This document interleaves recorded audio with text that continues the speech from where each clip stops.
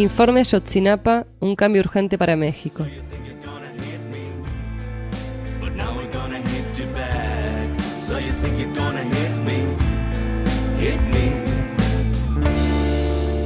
A partir del año 2006, se inició en México un proceso de militarización y de paramilitarización al que llaman guerra contra la delincuencia organizada o guerra contra el narcotráfico.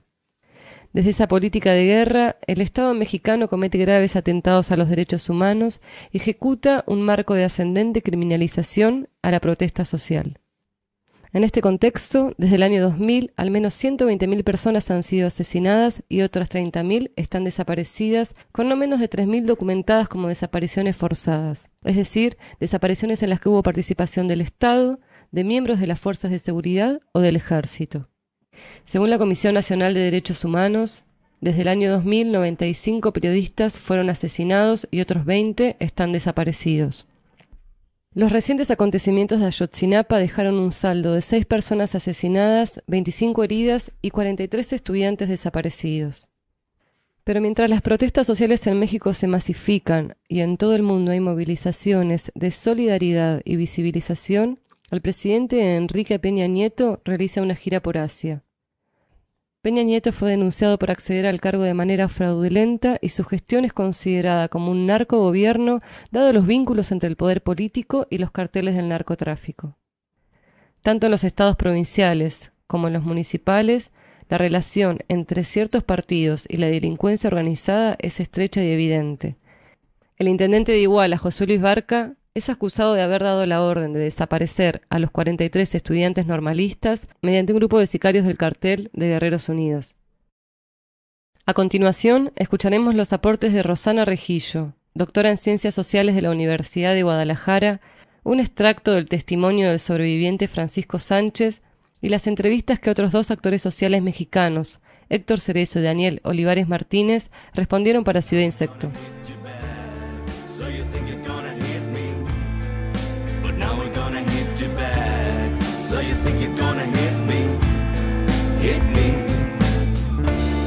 El 26 de septiembre pasado tuvimos la noticia de que un grupo de 120 normalistas, jóvenes estudiantes que estudian en estas escuelas rurales para ser profesores, para ser maestros, salieron de la comunidad de Ayotzinapa hacia Iguala para realizar una actividad de boteo. La información es eh, contradictoria. En los primeros momentos se dijo que habían salido a hacer boteo para eh, desplazarse hacia la Ciudad de México, eh, paradójicamente para participar en la gran marcha que se hace año con año para conmemorar la masacre de estudiantes del 2 de octubre. Otras versiones dijeron que realizaron, que salieron a realizar boteos para realizar sus prácticas. En general son escuelas muy pobres, eh, fundadas por lo que, por los gobiernos post-revolucionarios, post-revolución mexicana, y que han cumplido un papel muy importante para el país. Estos jóvenes salen, eh, cuando van en camino son interceptados por patrullas de la policía municipal, sin ni siquiera ningún tipo de aviso ni nada, les disparan, eh, ahí cae el primer muerto, eh, están bajo la ráfaga de, las policías, logran salir de este lugar y cuando ya están, digamos, avisando a los medios de comunicación de este primer ataque, otras patrullas de policía, en este caso ya apoyadas por comandos eh, armados y vestidos de civiles, eh, disparan, ahí caen otros dos, eh, caen otros tres eh, que viajaban, que no tenían nada que ver con los, eh, con los normalistas, en una confusión terrorífica atacando estos camiones. Y lo más lamentable del caso es que todos los testigos confirman que hubo muchos detenidos que fueron trasladados en patrullas de la policía. De hecho, hay videos que ratifican este decir. Y uno de ellos, el caso más lamentable, hay dos casos lamentables indudablemente, es Julio César Mondragón, un estudiante de 19 años eh, de primer ingreso, que del puro miedo salió corriendo, quedó aislado del grupo y, fue el muchacho que apareció con el rostro eh, desollado. Para la mañana siguiente, hacia las 5 de la mañana, 43 eh, de estos jóvenes estudiantes habían desaparecido, habían sido desaparecidos de manera forzada El alcalde en primer momento dice que no, el alcalde que equivale al presidente municipal dijo que no sabía nada y momentos después estaba prófugo. Eh, los hechos son terribles. Yo considero que Ayotzinapa, yo que soy una estudiosa de las violencias en este país y en otros, considero que Ayotzinapa es un antes y un después. O sea, es un punto de inflexión muy grave en las violencias que sacuden el México contemporáneo.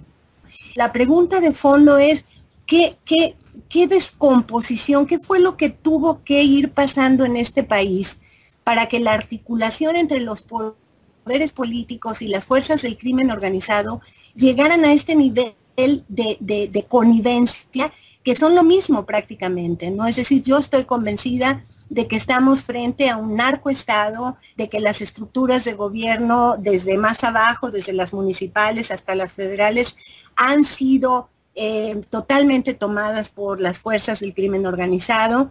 Y eh, este nivel de descomposición es lo único que explicaría el acto de barbarie cometido contra estos jóvenes inermes, ¿no? Estamos hablando de jóvenes que el más grande tiene 23 años, ¿no? Este, que además eh, viven eh, dentro de esta escuela rural en condiciones de pobreza, que se esfuerzan eh, cotidianamente. a mi juicio, no hay manera de explicar este acto de barbarie si no se acude a la relación de lo que yo llamo la narcomáquina, que es justamente la, relación profunda entre los poderes políticos, los poderes económicos y las fuerzas del crimen organizado. Mira, eh, me parece que eh, frente a este acontecimiento tan escalofriante como el de Ayotzinapa, eh, la reacción de la sociedad mexicana ha sido contundente. Eh, por primera vez en mucho tiempo, porque estas violencias que nos habitan, las fosas no son ninguna novedad, las masacres de jóvenes no son ninguna novedad.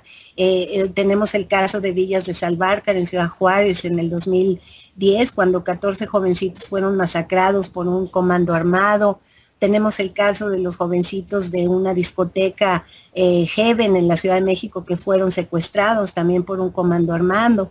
Eh, 11 de ellos y tres meses después aparecieron en una fosa eh, clandestina. Es decir, hay, hay, hay una dimensión de, violencias previas, de problemas previos. Sin embargo, yo creo que el, asunto de Ayotzinapa es la, la, gota que derrama el vaso.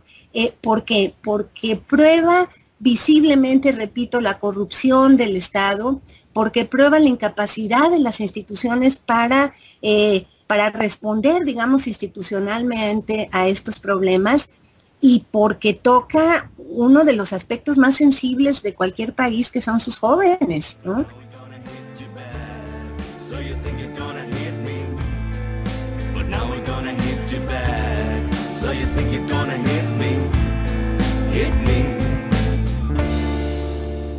Hola, buenos días. Mi nombre es Luis Daniel Olivares Martínez. Eh, yo soy de México, de un estado que se llama Querétaro. Formo parte de un colectivo llamado Jóvenes ante la Emergencia Nacional, que es una agrupación de jóvenes en la que pues buscamos transformar a México y también tener una opinión crítica al respecto. Nos formamos hace unos dos, este, perdón, unos cuatro años a raíz del movimiento por la paz con justicia y dignidad. Eh, y bueno, me están preguntando justo este, la situación de Ayotzinapa, su contexto y la opinión de los jóvenes. Lo que sucedió en Ayotzinapa pues es un hecho que nos consterna mucho en México y pues también de manera internacional vemos que, que también hay consternación. Bueno, todo esto se da a raíz de, eh, bueno, las, primero para esto tendremos que entender qué son las escuelas normales.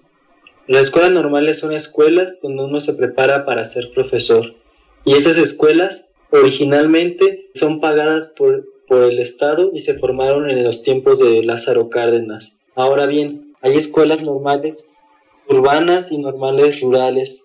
en el caso de Yotzinapa es una escuela normal rural. Por los 70 más o menos se empezó a dar una criminalización de las normales y se empezó a buscar desaparecerlas, comenzando con las rurales. Entonces son las que han sido más atacadas por el Estado. Entonces son las que tienen menos presupuesto Ahora bien, otra cosa que creo que es importante entender es la razón por la que ellos estaban eh, pidiendo un boteo, que es para una marcha en conmemoración de lo que sucedió en México en 1968. Pues bueno, lo que sucedió en el 68 fue que en el Distrito Federal, a raíz de un contacto profundo de los estudiantes con la sociedad, se empezaron a dar muchas movilizaciones, muchas manifestaciones, pues ya no bastaba con, con la respuesta que el Estado daba para la sociedad, la gente ya exigía que se cumplieran sus derechos, sin embargo, el Estado lo que respondió fue con, con militares y estos militares y también con paramilitares. Hicieron una matanza de, de estudiantes que estaban protestando pacíficamente. Estaban más bien en un mitin, acabando una protesta. Y bueno, la raíz de esta matanza es que año con año en el Distrito Federal se hace una marcha para conmemorar estos hechos para no olvidar. Y bueno, en ese sentido, los compañeros de Ayotzinapa estaban haciendo una eh, colecta, un boteo, porque otras normales iban a llegar a Ayotzinapa y de ahí se iban a mover todos al distrito. Entonces ellos tenían que generar las condiciones para que pudieran moverse y para eso pues era muy importante el boteo. Ahora bien, ellos se movieron a distintos eh, municipios que son localidades pequeñas y bueno, ellos se movieron a una que se llama Iguala, llegaron y pues el presidente municipal simplemente porque pensó que le iban a incomodar mm, en un evento que tenía por parte de una dependencia estatal, pues lo que hizo fue lo siguiente, este, mandó a llamar paramilitares y policías municipales y bueno, les dio la orden de que les dispararan. Y entonces pues empezó a dar una matanza. Y no solo una matanza, sino una desaparición de estudiantes. Y no solo fueron de la normal rural, sino también fueron mm, estudiantes en general que por su desesperación de cumplir con, la orden que les habían dado, confundieron un camión de un equipo de, este, de jóvenes que, jugaban eh, fútbol y también los agredieron a ellos. Entonces fue terrible porque Aquí se ve como un presidente municipal tenía profundos nexos con, con paramilitares, pero no solo eso, sino con el narcotráfico. Y cómo es que, estos nexos se, se manifiestan a manera de represión. Entonces, a raíz de estos hechos es que, es que mueren estudiantes, pero también que desaparecen 43 estudiantes. Y hasta la fecha no se tiene certeza de cuál fue su paradero. Eh, Luis, y, vos, ¿qué cambios considerás que, tienen que haber urgente ante esta situación de este México con, la presencia de un narcoestado como el que estás caracterizando? Pues esta caracterización no, no la doy a, título personal, esta es una caracterización que pues más bien ya el pueblo de México está dando, o sea, en general tú escuchas el discurso en cualquier lado y, ya, ya, es algo, ya, ya todo el mundo está hablando de que, de que lo que sucede aquí en México es un narcogobierno. Y ante eso, pues las exigencias, en primera es que en los gobiernos donde es muy evidente que existe este, un narcogobierno, como en Guerrero, Michoacán, incluso en Oaxaca, pues se está planteando que, que los presidentes este, renuncien. Y no solo eso, sino también se está exigiendo que el presidente que se encargó de legitimar esto es el presidente de, la República, está Enrique Peña Nieto, entonces también se está exigiendo que, renuncie, ¿no? Y bueno, a partir de su renuncia, pues tiene que venir acompañada de, propuestas, entonces se tiene que hacer mucho trabajo con la sociedad para empezar a discutir qué es lo que quieren los pueblos de México.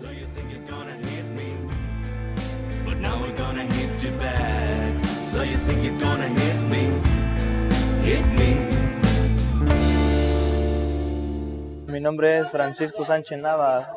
Eh, estoy estudiando el segundo grado de la normal de Ayoxinapa, Raúl Isidro Burgo. Eh, pues yo iba el viernes 26 de septiembre. Eh, fuimos, salimos con rumbo para la ciudad de Iguala a una actividad, la toma de dos autobuses, los cuales serían utilizados para el transporte de nuestros compañeros. Eh, incluso de nosotros para observaciones y prácticas docentes. Pues salimos aproximadamente de aquí de la normal como eso de las 6 de la tarde. En la ciudad de Iguala ya estábamos, llegamos como a las siete y media.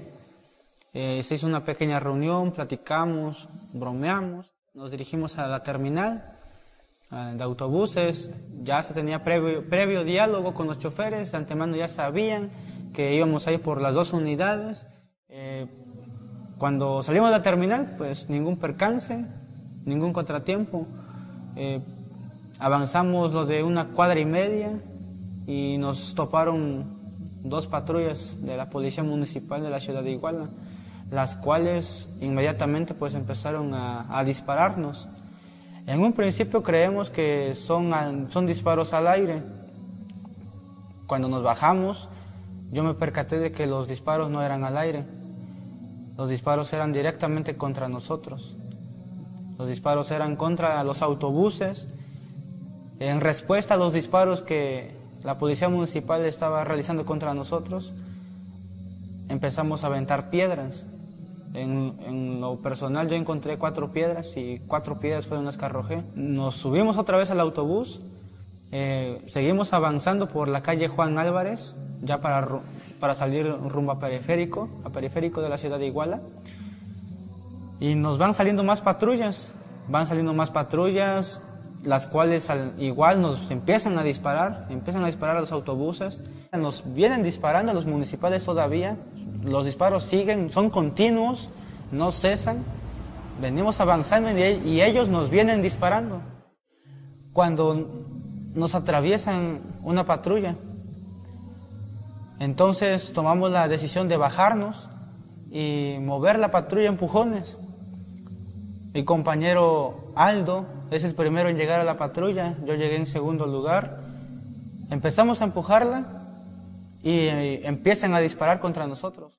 Y nos empezaron a disparar directamente. Cuando nos dimos cuenta que, cuando empezaron los disparos, compañeros míos se tiraron al piso, yo di dos pasos y me aventé hacia donde estaba el autobús. Me aventé hacia donde estaba el autobús, recuerdo que me paro y cuando escucho que algo pega cerca de mí, volteo y una bala había pegado como a 30 centímetros de mi costado izquierdo. Aldo estaba a mi lado. Aldo estaba a mi lado. Ellos, nosotros dos empezamos a empujar la patrulla. Cuando empezó la descarga contra nosotros, Aldo le dieron en la cabeza. Yo volteo, me doy cuenta de que está en el piso, y sobre su rostro un charco de sangre. Se formó rápidamente un charco de sangre y le grité a mis demás compañeros, le dieron a uno. Yo soy seguro de que los policías, la intención de ellos era quitarnos la vida, era asesinarnos. Llegaron los medios de comunicación, les, los llevé a donde los autobuses, los llevé a donde los casquillos de arma, que le tomaran evidencia la bala que incluso quedó ahí. Estábamos en eso, los medios de comunicación estaban recibiendo la información por parte de, de los estudiantes, yo estaba en la esquina, cuando del lado de periférico, se oye un estruendo enorme, fue un estruendo horrible, Incluso fue un estruendo mayor que la primera rafagueada. Con los medios de comunicación presentes se le estaba dando la, información, se le estaba dando el baje de información a los medios de comunicación cuando se, empezó a escuchar el, estruendo enorme. Eh, ese, ese mismo día, a las 7 de la mañana, nos informan que habían encontrado desollado a un tercer compañero. Nos brindan la información solamente un pequeño grupo de cinco personas, entre ellos yo. Nos muestran la fotografía y nos dicen, ¿lo reconocen? Inmediatamente lo reconocí por la bufanda, por la playera que llevaba. El compañero no tenía la piel del rostro, no tenía los ojos. El compañero estuvo conmigo antes de que ocurriera la segunda balacera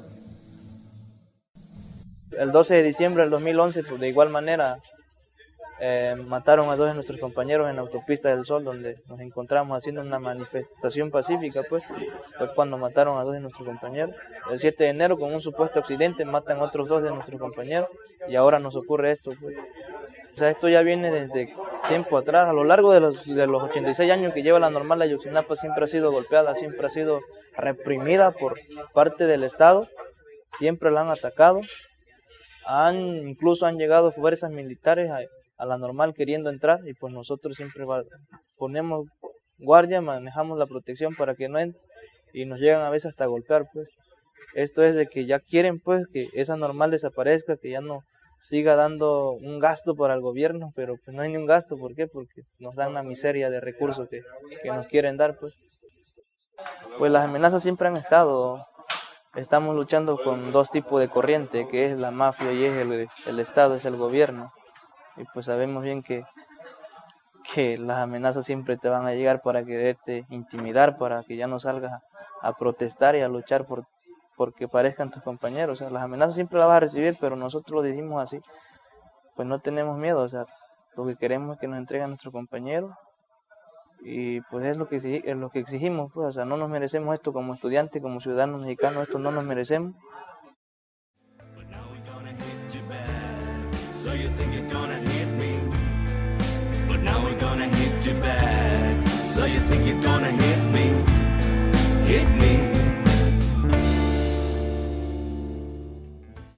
Mi nombre es Héctor Cerezo, soy coordinador del área de acompañamiento de la Organización de Derechos Humanos Comité Cerezo México, la cual desde el, desde el año 2010 venimos impulsando, junto con otras organizaciones de víctimas y de derechos humanos, la campaña nacional contra la desaparición. Entonces, en este sentido, el trabajo que hemos venido realizando en una de sus líneas es precisamente la documentación, eh, la visibilización de los casos de desaparición forzada en México, sobre todo enfocado a aquellas personas que están luchando por algún derecho humano y que por ello fueron víctimas de desaparición forzada. Para explicar lo que sucedió en Ayotzinapa Guerrero, con la detención de desaparición de 43 normalistas, hay que tener en cuenta que en México, desde el año 2006, inicia un proceso que se llamó en ese entonces una guerra en contra de la delincuencia organizada, una guerra en contra del narcotráfico, y que detonó o aceleró procesos como el de militarización en mayor parte del territorio nacional.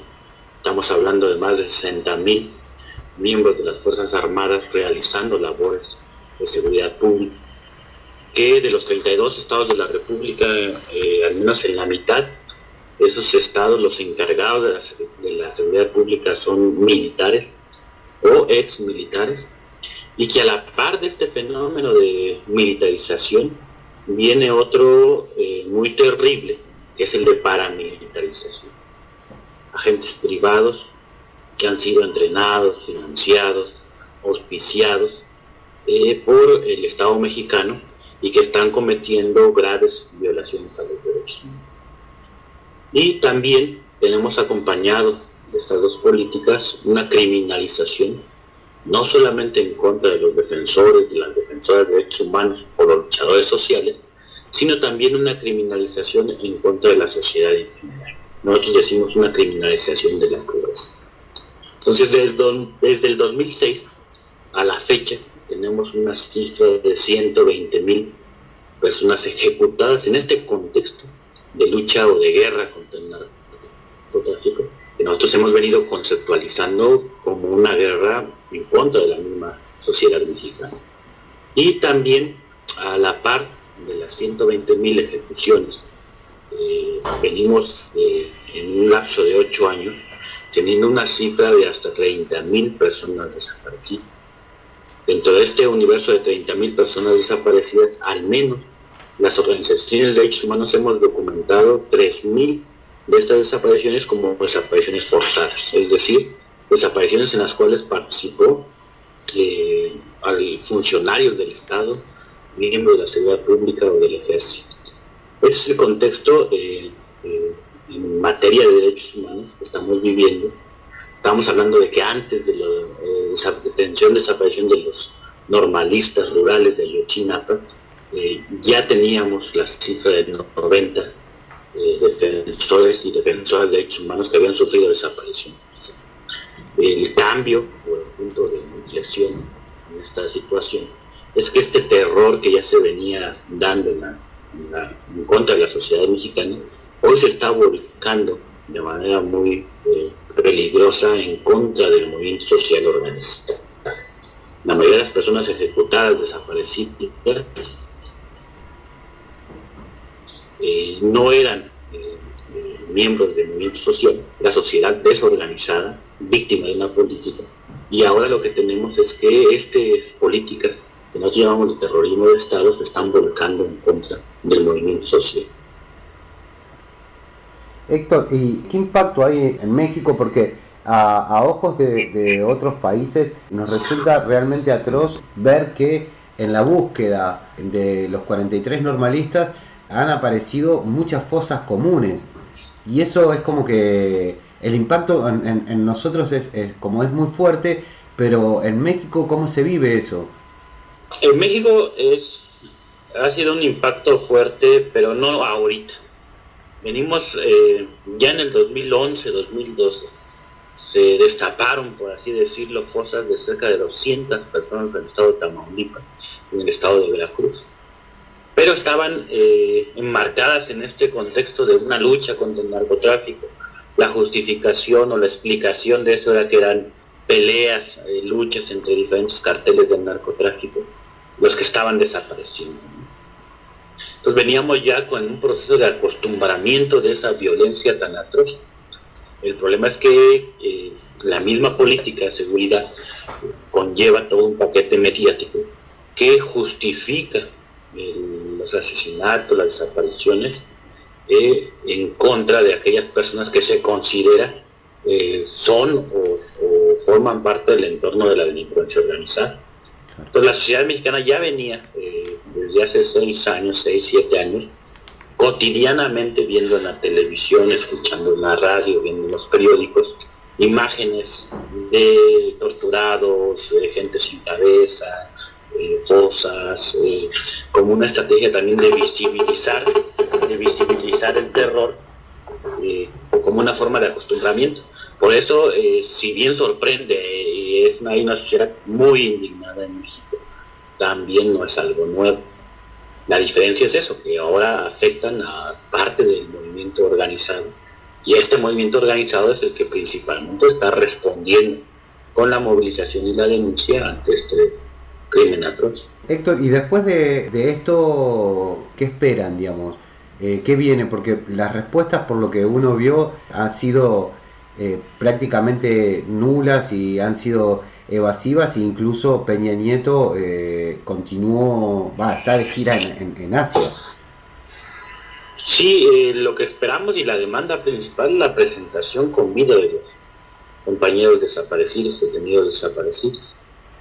Mientras no existe una certeza científica de que los restos que presentaron las autoridades, como si fueran los de los normalistas, sean efectivamente ellos, eh, mantienen su calidad de desaparición forzada, y se mantiene viva la, la, denuncia, la exigencia de su presentación conmigo.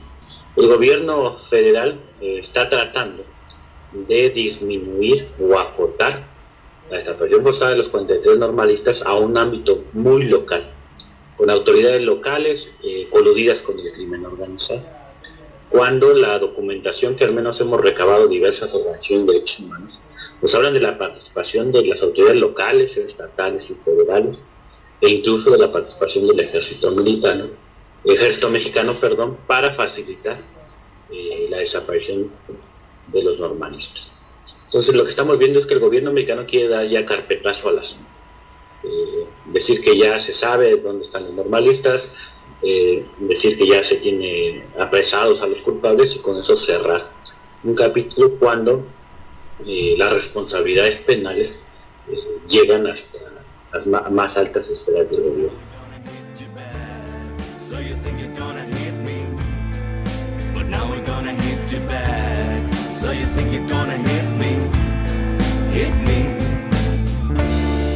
Cambio urgente para México es un informe de Ciudad Insecto para Vorterix Naucan.